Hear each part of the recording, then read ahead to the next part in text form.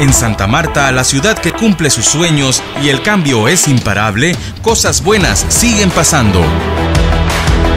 De nuevo, la ciudad más antigua de Sudamérica tiene la oportunidad de recibir un evento multideportivo internacional las cálidas aguas y las tibias arenas de El Rodadero, el balneario más importante de Colombia y su infraestructura hotelera, tendrán la oportunidad de convertirse en la villa turística y deportiva que acoja en noviembre de 2022 primera versión de los Juegos Centroamericanos y del Caribe de mar y playa, con la alegría caribeña y el calor humano de los samarios y magdalenenses.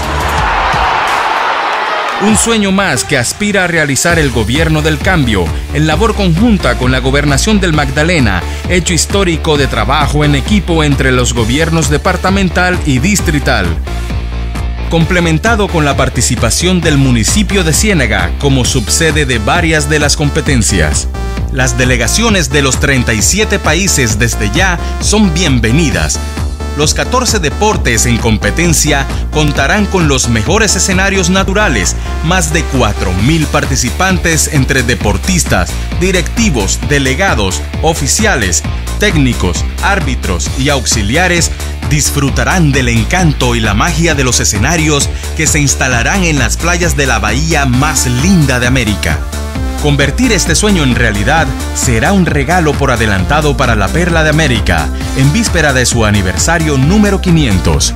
La experiencia y el reconocimiento que en los últimos años ha vivido nuestro territorio en materia deportiva, sumada a la confianza de la dirigencia deportiva internacional y nacional, le ha permitido postularse ante la ODECABE para ser la sede de la primera edición de estas justas con el apoyo del Ministerio del Deporte y el respaldo del Comité Olímpico Colombiano. La materialización de estos sueños deportivos inició luego de la realización de los mejores Juegos Bolivarianos de la historia en el 2017.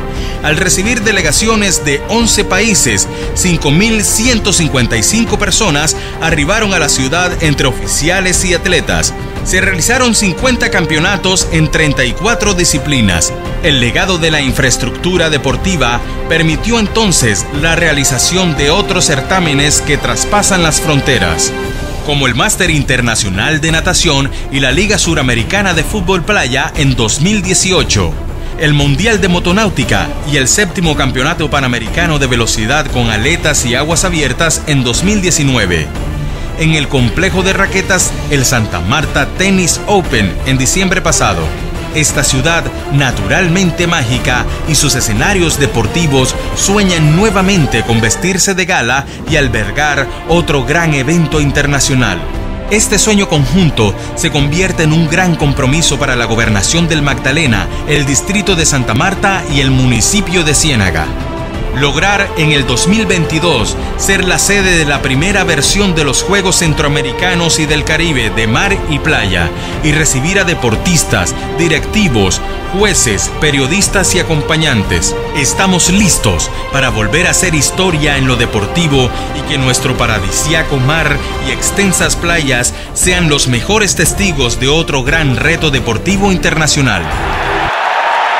Bienvenidos, hermanos del deporte centroamericano y del Caribe. Los brazos de los amarios y magdalenenses están abiertos y dispuestos a seguir cumpliendo nuestros sueños y que el cambio siga imparable. Santa Marta y el Magdalena, la mejor opción.